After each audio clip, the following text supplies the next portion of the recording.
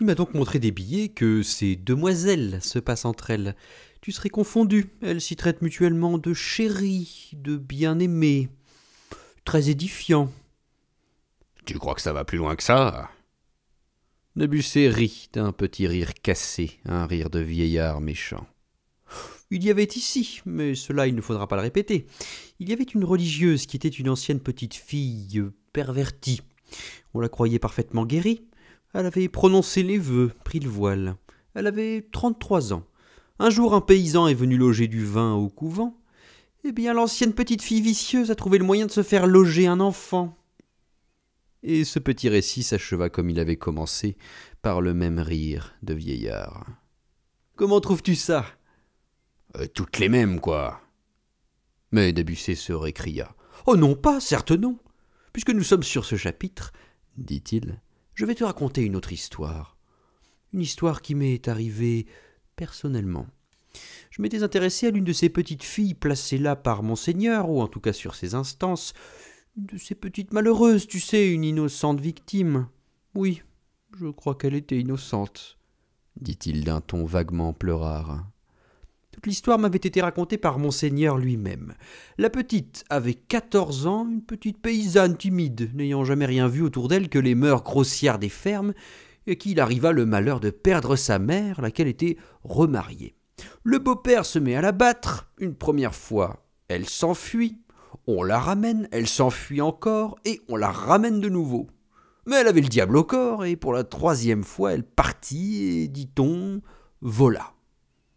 Nabussé fit un geste évasif. La voilà cueillie par les gendarmes, conduite au tribunal, jugée. Mis au courant de cette affaire par monseigneur, j'assiste au jugement. La petite se tient fort pleure, trépigne, menace. On décide de l'enfermer à Sainte-Plème.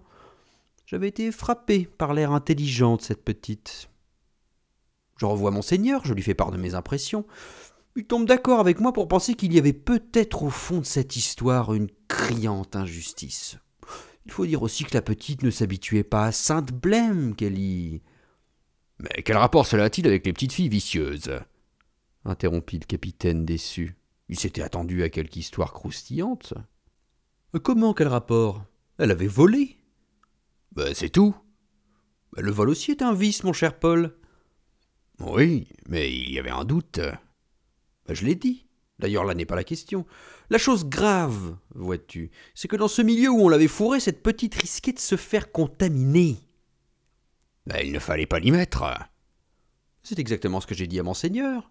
Pas dans ces termes crus, bien entendu, mais je lui ai fait entendre que nous avions peut-être commis une erreur, que cette erreur était réparable si on voulait bien seulement me permettre d'intervenir. Chose délicate.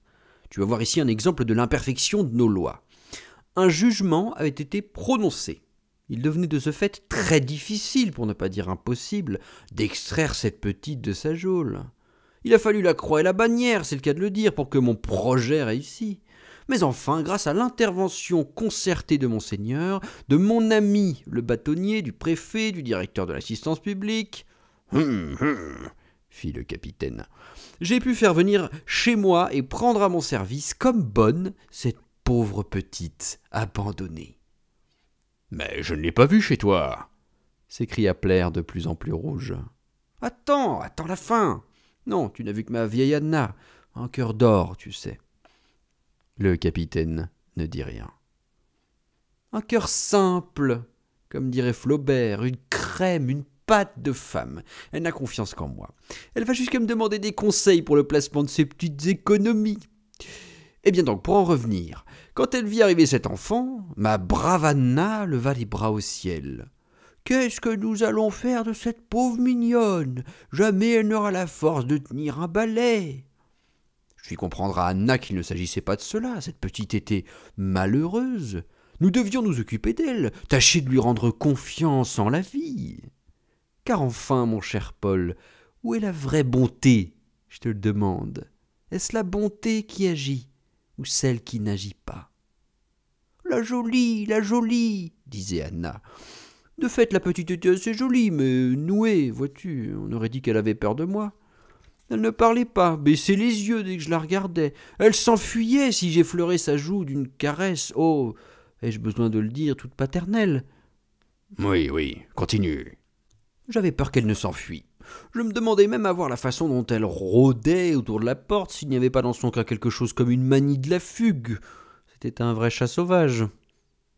Et ensuite Nous avons essayé pendant quinze jours de l'apprivoiser. En vain, mon ami. Elle ne mangeait pas, elle dépérissait à vue d'œil, malgré tous nos soins. Elle ne disait qu'une seule chose, qu'elle voulait s'en aller, retourner chez elle.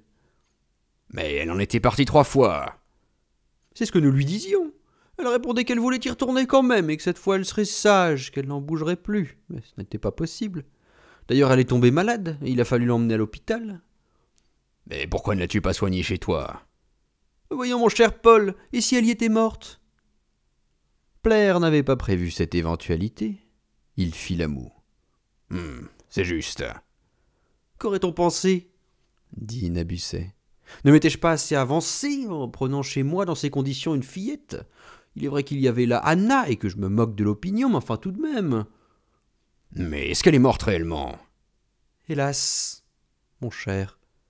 À l'hôpital Ça a été une chose atroce. Les docteurs ne savaient pas ce qu'elle avait.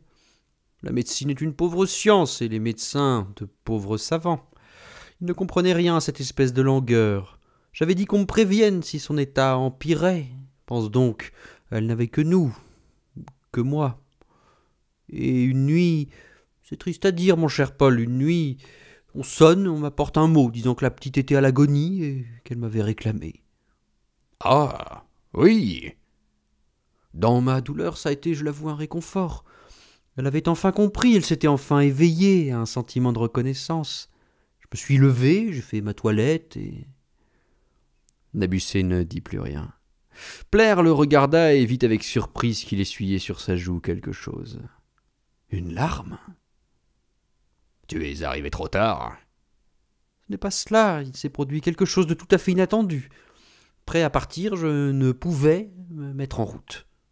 Tiens Je ne pouvais me décider, j'avais. Peur Non, pas peur, mais je ne pouvais pas y aller. C'est étonnant. J'étais en effet très étonné, mais il n'y avait pas moyen de faire un pas. Je ne pouvais pas me décider à ouvrir la porte. Mais jamais rien entendu de pareil. N'est-ce pas? Je ne m'explique pas encore.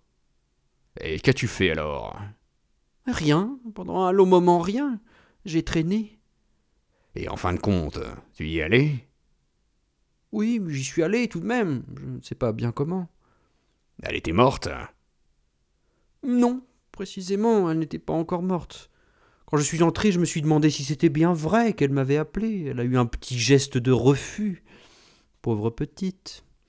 Et puis si tout de même ça devait être vrai, car elle ne m'a pas repoussé quand je me suis approché. Il ajouta au bout d'un assez long moment. Elle a agonisé sur ma poitrine. Ils ne dirent plus rien. L'histoire était finie. Pourquoi avait-il raconté tout cela? Il y a des gosses qui ont une drôle de vie, dit le capitaine. Oh, celle-là, on aurait pu en faire quelque chose, si elle avait consenti. Je me demande de quoi elle est morte, dit-il entre ses dents et comme se parlant à soi-même. Le capitaine réfléchissait. Si aller chercher les petites bonnes à l'assistance publique devait vous attirer de pareilles histoires, il faudrait peut-être y regarder à deux fois. On ne sait pas toujours à quoi on s'expose, dit-il. Et Nabucet répondit La vie est une affaire de tact. Ce qui me perd, vois-tu, reprit-il, c'est que j'ai trop bon cœur. Pour avoir voulu sauver cette petite de la misère, Dieu sait de quoi on pouvait m'accuser. Et sans doute n'y a-t-on pas manqué. C'était vrai, mais cela n'avait aucune importance, même pratique. Personne en ville n'ignorait que Nabucet était un piqué, un cérébral, mais cela n'empêchait nullement les mères bourgeoises d'envoyer leurs filles à la compagnie d'art dramatique, qui donnait périodiquement de grands spectacles dans le genre des Pierrots d'Edmond Rostand. C'était Nabucet lui-même qui maquillait et fardait ses demoiselles. De temps en temps, il recevait une gifle. Sais-tu ce que je voudrais? dit-il. Je voudrais que tout le monde fût heureux.